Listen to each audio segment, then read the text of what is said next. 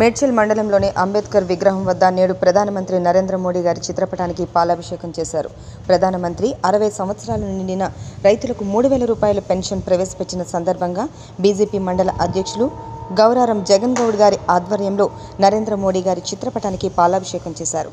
కార్యక్రమంలో భాగంగా విక్రమ్ రెడ్డి గారు మాట్లాడుతూ గత కొన్ని సంవత్సరాలుగా రైతులు వ్యవసాయ రంగంలో అనేక సమస్యలను ఎదుర్కొంటూ ఆత్మహత్యలకు పాల్పడుతున్నారని అన్నారు.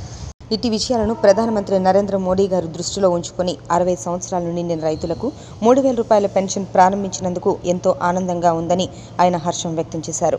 కార్యక్రమంలో కేంద్ర సుగంధ ద్రవ్యాల member Vikram Reddy Amara Mohan Reddy Lakshmareddy Narendrachari Ramesh Gupta Prabhakar Reddy Krishnagoud Raju Arjun Venkatesh Sarvesh Reddy Raghavareddy BJYM Vamshi Srikanth Anjaneyulu Mutyalu MPTC Srinivas Balaraju party నాయకులు కార్యకర్తలు పాల్గొనడం జరిగింది.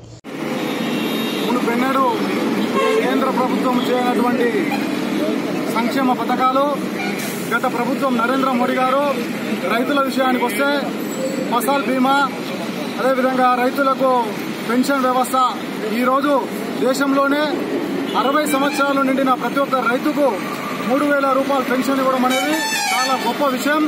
రైతులందరికీ కూడా ఈరోజు రైతులను విద్యార్థులను బడుగులను బలైన అన్ని వర్గాలను కలుపుకుంటూ ఈరోజు అగ్ర కులాలను కూడా రిజర్వేషన్ కల్పించినటువంటి ప్రభుత్వము కేంద్ర ప్రభుత్వము భారతీయ జనతా పార్టీ నరేంద్ర మోడీ గారి ప్రభుత్వం అని తెలియజేస్తున్నాం.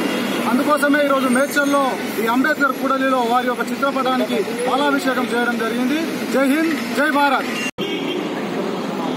వ్యవసాయ ఆధారిత దేశమైనటువంటి భారతదేశం వ్యవసాయదారులనన్నింటినీ కూడా గత అనేక సంవత్సరాలుగా ఆ క్షేత్రాన్ని పట్టించుకున్నటువంటి నేపథ్యంలో అనేక మంది వ్యవసాయదారులు వ్యవసాయం చేస్తున్నటువంటి రైతులందరూ కూడా ఆత్మహత్యలకు పాల్పడ్డటువంటి విషయాన్ని గతంలో మనం చూసాం ఈరోజు రైతులందరికీ కూడా అరవై సంవత్సరాలు నిండినటువంటి వ్యక్తులందరికీ కూడా పెన్షన్ సదుపాయాన్ని ఈరోజు కేంద్ర ప్రభుత్వం ప్రకటించింది అంతేకాదు పెట్టుబడి కోసం ఆరు వేల రూపాయలు ఏదైతుందో దాన్ని అందరికీ కూడా అందేటువంటి విధంగా ఈరోజు చర్యలు తీసుకోవడం జరిగింది. ముఖ్యంగా వ్యవసాయ దేశమైనటువంటి ఈ యొక్క భారతదేశం వ్యవసాయం అభివృద్ధి చెందితే అన్ని పల్లెలు కూడా అభివృద్ధి చెందేటువంటి అవకాశం ఉన్నాయి.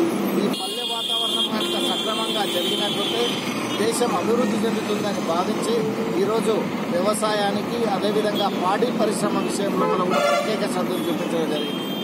పాడి పంట విషయం లోపల ఈరోజు పశువులకు సంబంధించినటువంటి వ్యాక్సిన్ అంతా కూడా ఈరోజు కేంద్ర ప్రభుత్వమే భరిస్తానని చెప్పి చెప్పడం జరిగింది.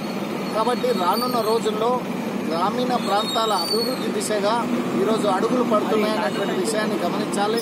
తప్పకుండా గ్రామాలన్నీ అభివృద్ధి చెందినప్పుడు వ్యవసాయం అభివృద్ధి చెందినప్పుడు రైతులందరూ కూడా సక్రమంగా తమ వ్యవసాయాన్ని చేసి ఈ దేశానికి పంటలను అందించినప్పుడు ఈ దేశం అభివృద్ధి చెందుతుంది. కాబట్టి రానున్న రోజుల్లో పూర్తి నమ్మకం ఉంది.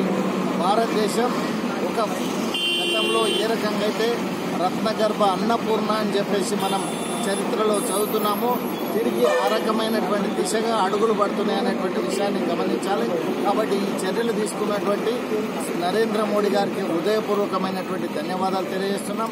భవిష్యత్తులో మరిన్ని కార్యక్రమాలు చేపట్టాలని ఈ రాష్ట్ర ప్రజలకు ముఖ్యంగా తెలంగాణ ప్రాంతం లోపల కూడా పేద ప్రజలు అదేవిధంగా ఇక్కడ ఉన్నటువంటి వాళ్ళందరూ కూడా భారతీయ జనతా పార్టీని రానున్న రోజుల్లో ఆదరించాలని ఒక బలమైనటువంటి శక్తిగా ఈ ప్రాంతంలో రూపుదిద్దేందుకోసం మీరందరూ కూడా ఆశీర్వదించాలని చెప్పి మనస్ఫూర్తిగా కోరుకుంటున్నాను విషయంలో తీసుకున్నటువంటి ముందడుగు ఆరు వేల రూపాయలు సంవత్సరానికి పెట్టుబడి హామీ పథకంతో పాటు ఇంతకుముందు ఐదు ఎకరాల వరకే ఉన్నటువంటి పథకాన్ని ప్రభుత్వం మళ్ళీ వచ్చిన తర్వాత దాన్ని మొత్తం రైతులందరికీ కూడా పొడిగించడం అదేవిధంగా రైతులకు మూడు వేల పెన్షన్ అరవై వేలు అరవై సంవత్సరాలు దాటినటువంటి రైతులందరికీ కూడా మూడు వేల రూపాయల పెన్షన్ ప్రవేశపెట్టడం. ఈరోజు భారతదేశంలో ఉన్నటువంటి రైతులందరూ కూడా సంతోషంగా ముందడుగేయడానికి వ్యవసాయ మార్గాన్ని ఎంచుకోవడానికి ఒక మార్గం ప్రవేశపెట్టినటువంటి తరుణంగా రైతులందరూ భావిస్తూ ఉన్నారు. ఈరోజు దేశంలో ఉన్నటువంటి ప్రవేశపెట్టినటువంటి కూడా స్కీమ్లన్నీ కూడా ప్రతి పేదవాడికి చేరే విధంగా కింది స్థాయి బడుగు బలహీన వర్గాలకు హౌసింగ్ స్కీమ్ కానీ ఇన్సూరెన్స్ స్కీమ్ కానీ పెన్షన్ స్కీమ్ కానీ మెడికల్ స్కీమ్ కానీ ప్రతి ఒక్క స్కీమ్ కూడా ఈరోజు అందరికీ చేరే విధంగా ప్రవేశపెట్టినటువంటి ఈ పథకాలను మనం అందరం కూడా కింది వరకు తీసుకెళ్ళి అర్హులైనటువంటి అందరికి కూడా అందే విధంగా మనం ప్రయత్నం చేయాలి. అప్పుడే నిజమైన పేదవాడు ఒక స్థాయికి వచ్చి ఆయన పే పేదవాడిగా కాకుండా